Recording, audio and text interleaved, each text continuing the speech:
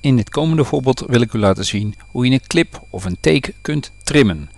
De opname die u hier ziet staan is dus ruw zoals de opname uiteindelijk gemaakt is. Die gaan we inkorten. Dat kan op een aantal manieren.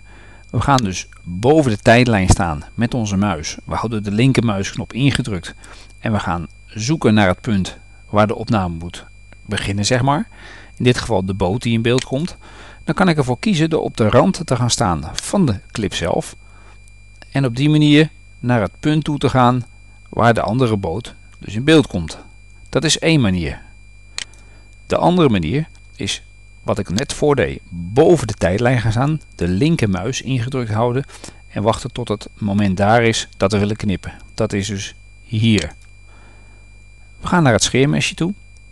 We klikken erop. Vervolgens wijzen we het gedeelte aan wat we kwijt willen. En we zeggen delete. De scène is niet echt weg. Want als ik dit terughalen, is de scène weer net zo lang als dat die was. Het is een elektronische las. We gaan dus nogmaals die handelingen doen om u goed duidelijk te maken hoe het knippen in zijn werk gaat. Hier is de boot. We gaan knippen. We wijzen aan wat we niet willen gebruiken en we zeggen delete.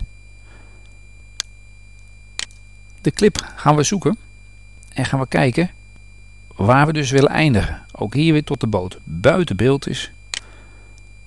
We gaan naar het mesje toe. We wijzen aan wat we kwijt willen en we gooien een stukje weg. En zo kunt u alle clips één voor één beetpakken en daarna tegen elkaar aanzetten, zodat het een montage gaat worden. Nu zit er een stuk zwart voor de film. Als ik nu afspeel, zult u zien dat het beeld er ineens, er beeld er ineens is. We willen het beeld langzaam laten in- en uitveden. U klikt op de clip van uw keuze, dus in dit geval de beginscène. Boven in beeld ziet u wat hendeltjes. Die kunt u schuin wegtrekken. En hoe verder schuin u dit wegtrekt, hoe langzamer het beeld in en uit gaat veden. We gaan het even afspelen. Heleboel zwart.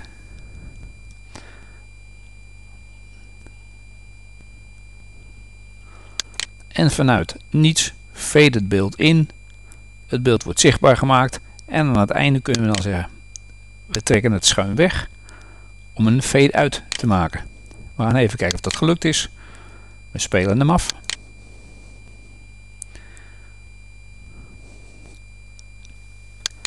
En op die manier heb ik een korte manier laten zien hoe je snel en eenvoudig een montage kunt maken.